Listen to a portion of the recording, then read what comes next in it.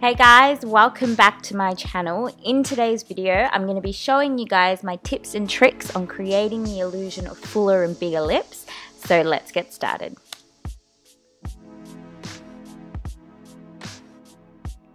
So the first thing you want to do is contour the lips to give them some dimension and depth. So I'm picking up this deep shade from my MAC concealer palette and I'm directly applying the colour with a pencil brush underneath my bottom lip and I'll be applying a little to the cupid's bow as well.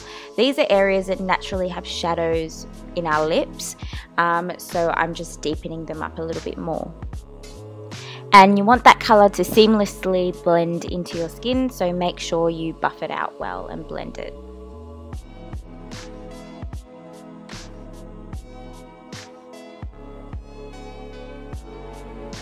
Now time to apply the lip liner. Now you want to pick a colour that is as close to the overall lip shade that you'll be applying and we're going to be overlining our lips as well. Now when overlining the lips the only two places you want to overline are just above the cupid's bow and just below where I've just marked on my lips here. If you overline your lips anywhere else other than these two areas, they will look so fake and you'll get Miranda Sings vibes. Now, it's totally fine if that's what you're going for, but if you want to make it as realistic as possible, those two sections I found are the only two areas that you want to overline and it doesn't look fake.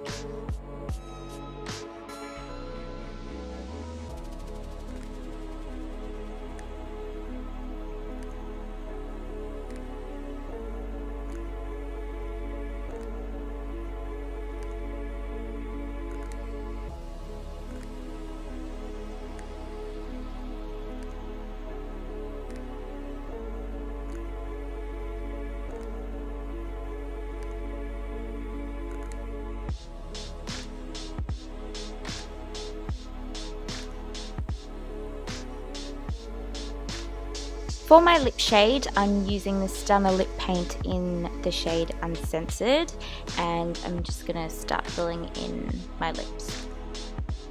One thing I like to do is use the edge of the applicator to almost go over the lip line that we drew so there's no sort of demarcation line between the actual liquid lipstick and the lip liner and it all looks seamless.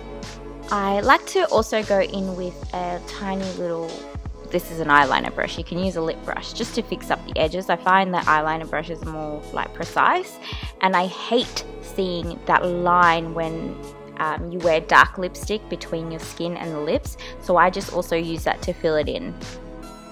And that's pretty much it, you guys. You can go out looking fabulous with big lips.